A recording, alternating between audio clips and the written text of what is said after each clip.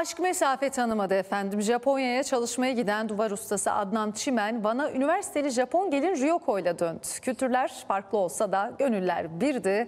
Türk usulü düğünde mutluluk zirve yaptı. Evet şöyle alkışlar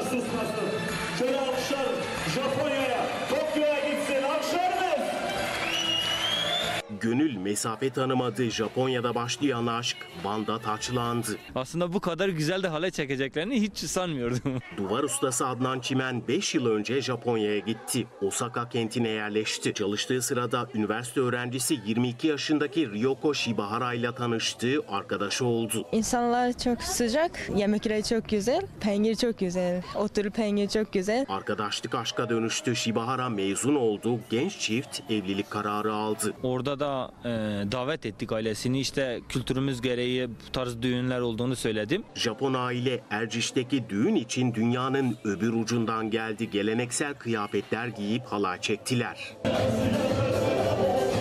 Aslında geleceklerini pek sanmıyordum. Çünkü çok uzak. Hani uçakla 13-14 saat e, yol geliyoruz ve babası seyahat etmeyi sevmiyor açıkçası. Buna rağmen geldiler. Halay ben e, Japonya'da pratik yaptım, e, burada e, güzel yaptım acaba. evet evet. Çok güzel yaptın.